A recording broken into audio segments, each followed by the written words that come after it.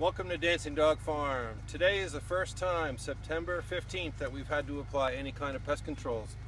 Um, we have beautiful cabbage here, great growth, the soil is well balanced, but we're having trouble with cabbage looper. You can see that they're doing some uh, defoliating. It's not a big deal yet, but they're just starting to head up, and we want to make sure we have uh, the finest quality produce available. What we're doing today is we're spraying OMRI listed neem oil of course available from compostworks.com. But uh, essentially this will knock down insects. It needs to be emulsified with dish, dish detergent uh, because it isn't oil. You need to break the surface tension of the water. We've also mixed in um, some garlic barrier, which is also an OMRI listed.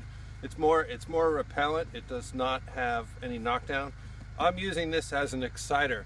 This is going to irritate the insects and make them more active so they're more apt to come in contact with the neem. So I have this great sprayer set up. We're going to go ahead and spray these brassicas here. See, we got really good pressure. You want to blast them too hard. Just want to wet them down.